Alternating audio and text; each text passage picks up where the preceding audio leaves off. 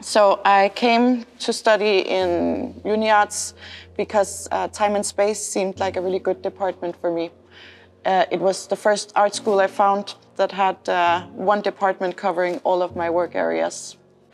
So when I got the email that I had gotten accepted, it felt good because then I knew what I was going to do for the next five and a half years. Um, I knew where I was moving and what my plans were going to be. So one of the best things about um, studying in KUVA for me is that uh, there's quite a lot of freedom in um, selection of studies, so everyone can kind of tailor their own education. So not two students have the same education in the end. You can put together your own courses and uh, decide for yourself how your art education makes sense for you.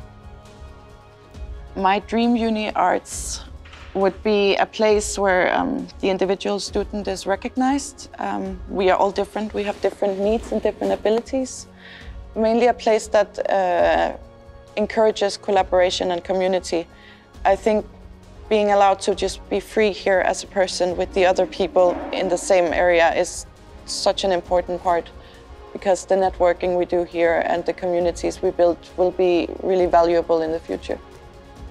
I live in Vallila and um, for me that's really one of the best neighborhoods in town because it's, um, it's almost out of the city but still inside it um, and I live almost in a park so I can see rabbits and animals jump around at night outside.